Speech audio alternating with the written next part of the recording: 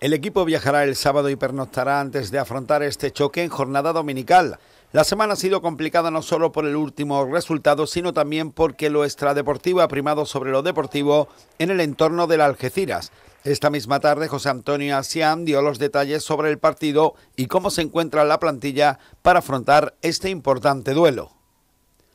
Yo tenemos una, pequeña ventajita con respecto a otros equipos. Tenemos tres ex jugadores de, de allí y sabemos que es un equipo que no te va a regalar nada, eso es evidente, como ninguno de la categoría, que eh, nos van a, apretar, que ellos también están en una situación eh, delicada porque lo bueno de esta competición es que se ha comprimido tanto, eh, en este caso, el, grupo, tanto para evitar descenso como para jugar la, eliminatoria de ascenso, que claro, estamos todos en un pañuelo, ¿no? Entonces, partido súper complicado, pero bueno, ni más ni menos lo que hemos dicho anteriormente. Nosotros tenemos que intentar de imponernos, tratar de imponernos eh, tanto en un campo, cuando juguemos fuera, el que sea, como cuando juguemos aquí, que nos, nos está atragantando también últimamente, por aquello de que los, los equipos contrarios también tienen sus armas, ¿no?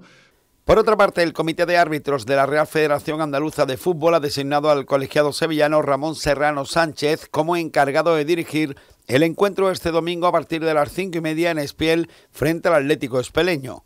Además, la Peña La Bufanda acompañará al equipo en este desplazamiento, en el que disfrutarán durante dos jornadas en la zona de Córdoba y Jaén, ya que dormirán en La Carlota. Un autobús repleto de aficionados espera que por fin se produzca la victoria rojiblanca.